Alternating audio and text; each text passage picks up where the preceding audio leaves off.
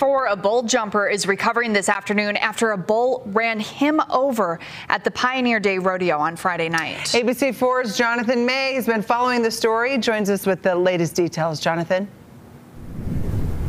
Hey, thank y'all. Bull jumper Manu Latesse says Friday night didn't go the way he expected. He ended up needing get needing a couple stitches in his head, but even with all that, he knows that the risk is all part of the performance. Here's a look at the jump Friday night.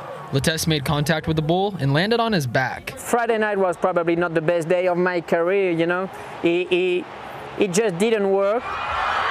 Then the bull ended up coming back a second time and ran Latesse over while he was still on the ground. Sports medicine teams there treated him and helped him get back on his feet. The video looks bad, you know, because there is a lot of blood. But I've been injured badly 10 times in my career. Watch this! Latesse has been bull jumping for 23 years.